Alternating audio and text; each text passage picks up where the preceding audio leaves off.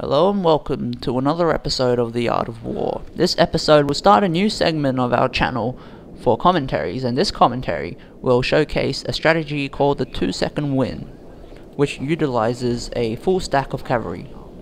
And this allows for a quick victory, which is what the title suggests 2 second win. And the armies are, well, me as France I have one general's bodyguard, four lancers, four gendarmes, two noble knights, and one mounted sergeants. And my opponent, as Sicily, he has one general's bodyguard, two Norman knights, four pike militia, four dismounted Norman knights, four peasant archers, three sword and buckler men, and two Muslim archers. As you can see, I've already attacked his cavalry with my own cavalry, and I've dispatched three units to deal with these two units of Norman Knights to make sure I gain victory over there. But as you can see, he's sending reinforcements, he's sending his general's bodyguard and pike militia to try and help him out. And I'm moving off my cavalry from the other flank to try and go around him. The fact he has pike militia units makes things a bit complicated because normally with 2 second win, the idea is just to make a full frontal charge with all your cavalry units and the shock of the impact tends to rout a lot of enemy units. That's the whole core of the strategy. However, I don't want to be charging front on into his pikes, and that's why I'm doing things systematically. I'm eliminating his cav first, and then I'll deal with his infantry later.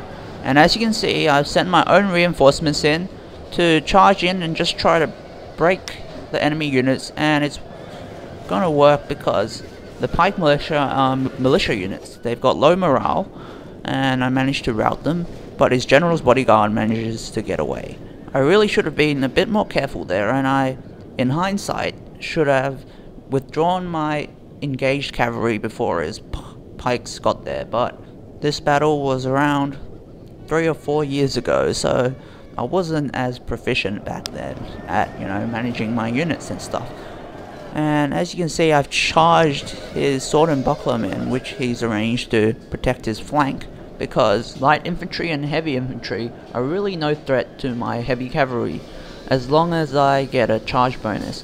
However, you should never leave your cavalry in melee with enemy infantry for too long, because infantry is just better at melee fighting you should withdraw and charge your cavalry, just like the battle advisor says in single player battles, because your cavalry is always most efficient when charging, and you'll kill heaps of infantry. Infant infantry are just no match for cavalry when the cavalry is charging them.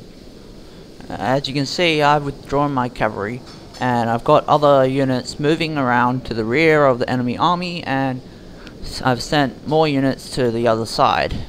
Now, 2 second win is a strategy exclusive to vanilla medieval battles because in Third Age Total War, the cavalry just isn't as strong. However, in vanilla, heavy cavalry are basically the most powerful units in the game. They can take on pretty much anything. People tend to think that spearmen are good against heavy cavalry, but they're really pretty much the same as other types of infantry because heavy cavalry will still take out a heap of them in the charge. The only type of infantry which are actually effective against cavalry are pikemen because in the charge, cavalry will just get wiped out if they front on charge pikemen that are bracing and standing still. This is why the 2 second win works because most infantry types will just get crushed by cavalry in the charge, as you can see here. Demonstrated by these sword and buckler men and various other units getting smashed by my cavalry. However, there are things that you need to be quite careful of when using cavalry in general, not just when using the 2 second win, but when you're using the 2 second win, it's more relevant because your whole army is basically cavalry. So you need to be a bit more careful and you shouldn't be leaving your cavalry in the lead for any time at all basically because your cavalry are most effective when charging. You should always be either withdrawing or charging. But here I needed time for my other cavalry to get there and charge their pike militia from the rear. So that was kind of a sacrifice. Now I got rid of all his cavalry early on to make sure that my units would all be faster and could run away from their infantry. However, as you can see, I forgot about one of my cavalry units and the infantry caught it and killed it. And that's one of the drawbacks of 2 second win, is because you have to manage so many cavalry units withdrawing and charging, and if they end up spread out across the battlefield, you can easily forget about one or two of your units and they'll get caught by infantry. Over here, I managed to catch some of the pike militia from behind with my cavalry, and that's the way you have to deal with pikemen. The fact he had pikemen really slowed down the whole battle process because normally in 2 second win the battle will probably would have been over by now. It's a very quick strategy, it's like an all or nothing strategy. You either win or lose the battle in the first few moments.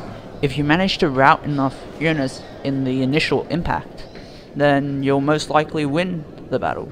But if your cavalry, you know, start dying and can't rout the enemy, then you'll probably lose. Now I've got my cavalry converging on his units, which are pretty spread out, and these are engaged with some of my other cavalry right now, which I probably should have withdrawn earlier, but I probably forgot about them as well. His units are pretty spread out now, but they're still managing to rout a lot of my cav units, so at this point I'm probably starting to lose the battle. I've got a few units that have stopped routing and are ready to come back as you can see in the distance back there. And I've routed quite a few of his units now as well with cavalry charges repeatedly. And now the fighting centered around this place and I'm in a prolonged melee with his infantry which is never a good idea as I mentioned before.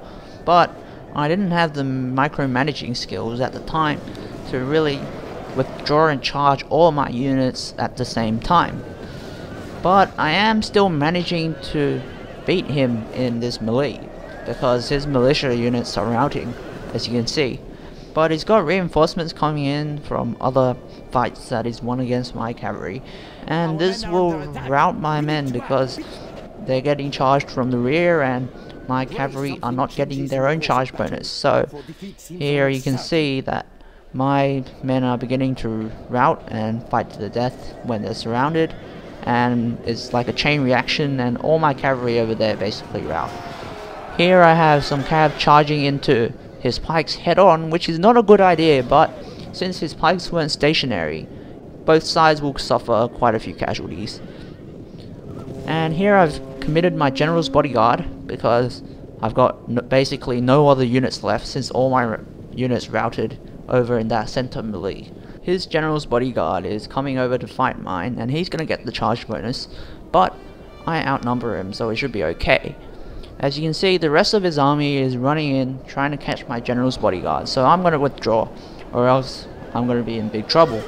And here you can see that his general dies just at that moment, which is gonna help me greatly, because his whole army's morale will just drop. And I've got one unit of gendarmes to the side over there and I'm going to charge in at the same time with both my gendarmes and my general's bodyguard which will take out quite a few of his men and here my general's bodyguard is retreating once again because I have to keep withdrawing and charging right now or else I'm done for. I'm at a pretty big disadvantage right now as it is since he's got so many men left and I've got only a few. As, as you can see, my gendarmes routed back there, so it's just my general's bodyguard now, and things are not looking good.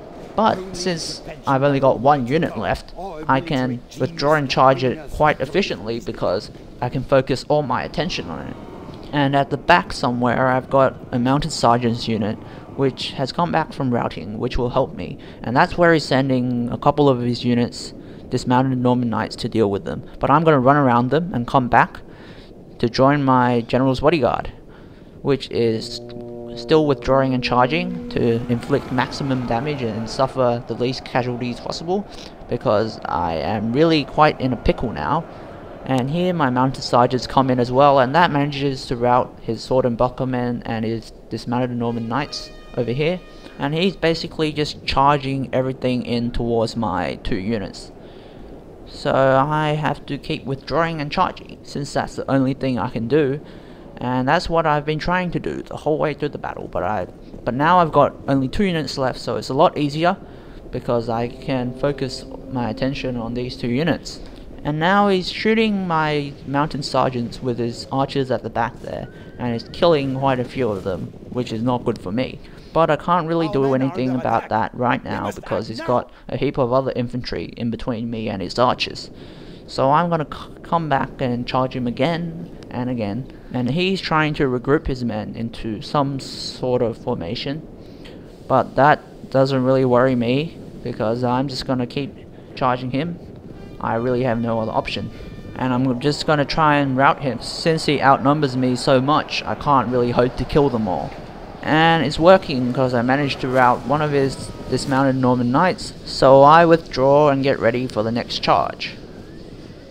And all the while he's shooting me with his archers, but I really can't do much about that. And here he manages to rout my mounted sergeants, so it's just my general's bodyguard left and my general's bodyguard unit is now down to only five men which is not very much compared to his massive amount of troops left but I'm just hoping to rout him. So I'm gonna charge into his dismounted Norman Knights again. And this routs his unit as you can see. And now I withdraw again because that's what I have to do. And as I withdraw another of his units routs, which helps me of course, and now his units are all wavering, so I don't want them to recover, so I just run back in, and it doesn't even matter that I didn't get my charge bonus, because I managed to rout his Muslim archers, and I'm just going to keep doing that, because I have to keep attacking him so that his units don't recover their morale. He has some pikes, and that's a worry, but I just got to ignore that. I'm j I just got to try and rout them as fast as possible or else my units are to die. Because he can shoot me as well as fight me. And there I managed to rout another Muslim archers unit while doing that.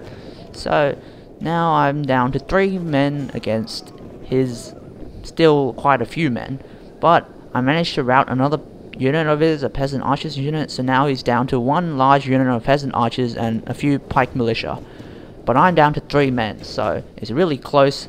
But here I've got a bit of lag for some reason, but it doesn't matter because now it's really down to the wire. He's got his pikes coming in, and I just really need to rout them right now because I'm gonna lose if we fight to the death.